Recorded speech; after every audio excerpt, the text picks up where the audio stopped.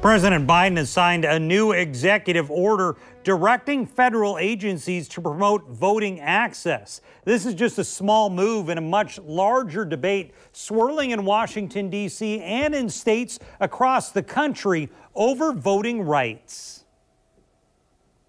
On the 56th commemoration of Bloody Sunday, President Biden signs executive orders to increase voting access. Bloody Sunday is the day in Alabama history when hundreds of marchers were beaten by state troopers. It led to the Voting Rights Act. Elected officials in 43 states have already introduced over 250 bills to make it harder for Americans to vote.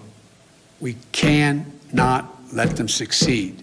Biden's order is only a small portion of the debate happening in Congress and state legislatures. Congress is considering House Resolution 1, which could change things like gerrymandering of congressional districts and change campaign finance laws. It's designed to stifle what Republican led state legislatures are doing in states like Florida and Georgia. I spoke with the head of the Duval County GOP who says changes need to happen to improve election security in Florida. We have a lot of voters who do not trust the electoral system right now. And we need to have a system in place that we can show the country that works. I also spoke with State Senator Annette Taddeo of Miami. She says these moves on the state level are blatant partisanship and meant to keep voters from the ballot box this is all political. This has nothing to do with fixing problems.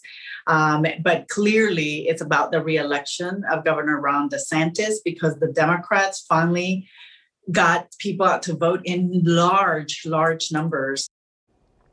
Georgia Republicans have already made more than uh, an headway in election reform. They already passed House Bill 531, which adds requirements for absentee ballots and limits ba uh, ballot drop boxes. Some civil rights groups are calling on Atlanta based companies like Coca Cola and Delta to join in the fight against the legislation.